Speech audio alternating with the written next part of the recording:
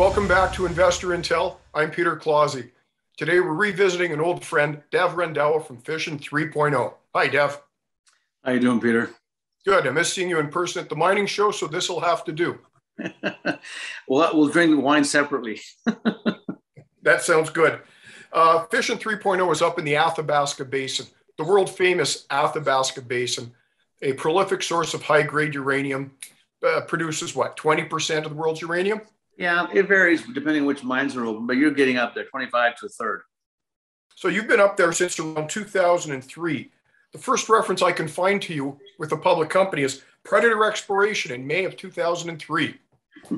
Well, yeah, it, we did have some properties, but really, yeah, it was until we had that big move in uranium, remember, in 96, 98 for a short time, and right back down. Or Benton bankruptcy pushed it up. And there really was no activity till 2003 and 2004. And it was actually Strathmore was focused on the uh, uranium. And right. we started with um, Quebec and then finally got smart and went to Athabasca. so that makes you one of the world's foremost leaders on exploration for uranium. Well, I, we've made two discoveries, and I say we, and so I really want to. That's Ross and Ray and the team they put together. They've made two great discoveries. And though, to re- remind our viewers, that was Fission 1.0 and Fission well, Yeah. Well, actually, Strathmore was our first, and it split into two. The U.S. assets eventually got sold to Energy Fuels, and these, and we, and we took the Canadian assets through a plan of arrangement called Fission Energy.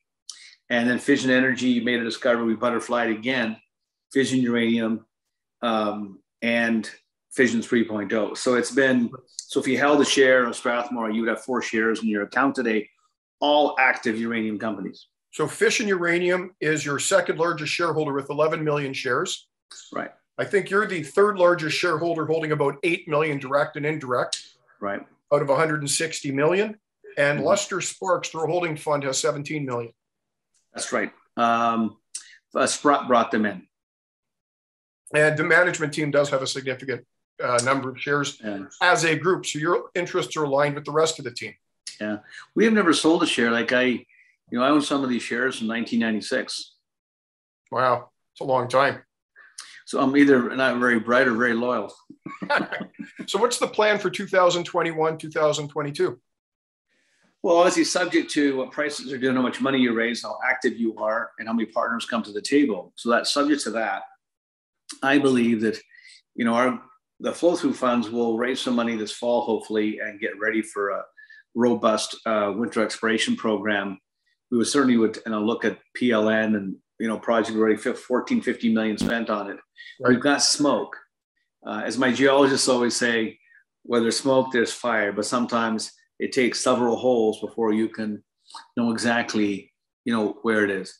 Right, and some of your deposits are fairly shallow, aren't they?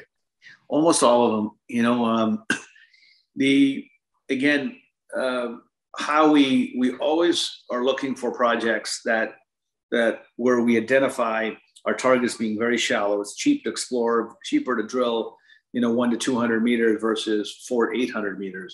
Right. Uh, then also when you go to mine it, it's going to impact your market, your mining cost. So in that respect, always.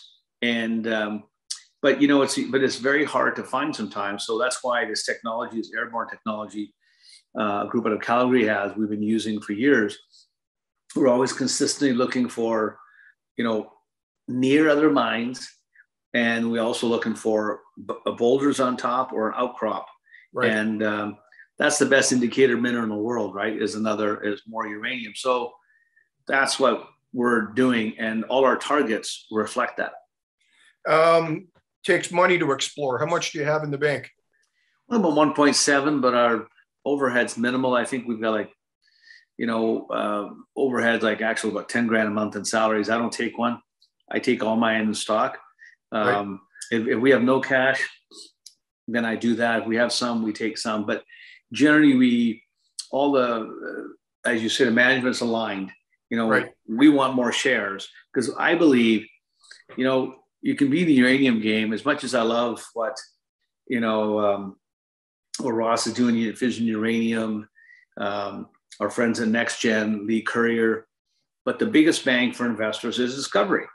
Yeah. Stock can go from 10 cents to a dollar, $2. A mine being developed will never go from 10 cents to a dollar, not a chance.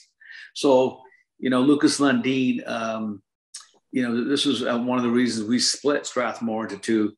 He says, he said to me, he says, you know, isn't developing a mind boring? And I said, he says, or developing, and he goes, no way, exploration is the only way to go. And that's where his dad, is, you know, right. Um, did well. So we exploration is is the best way to make the biggest bang for the buck. So here, big finish, Dev. Why uranium? Why not cobalt? Why aren't we talking about scandium? Why is uranium your uh, mineral of choice? Well, simply because there's a deficit every year. We we use uh, 50 more million pounds than we use than we ever mine. And I think if we're serious about green energy, and I certainly get the feeling that Biden is for it, and you see the big smart money coming into it, whether it's Sprott with, you know, buying uranium participation fund or ever, you're seeing this overhang uh, being wiped off. And I think it's when it moves, it's going to be very volatile. And so that's why if you if you think that, and there's only one energy, Bill Gates will tell you only one energy, you know, it's uh, carbon free, no footprint whatsoever, yet baseload power. It's the only energy out there that won't add to our CO2. And we can go home at night and everybody can crank on their oven at the same time. That's a good finish. Dev, Thanks. thank you for your time. We'll be touching down thank you. you again. Fission 3.0, Dev is accessible. Uh, if you're bored, give him a call. He'll talk to you all day.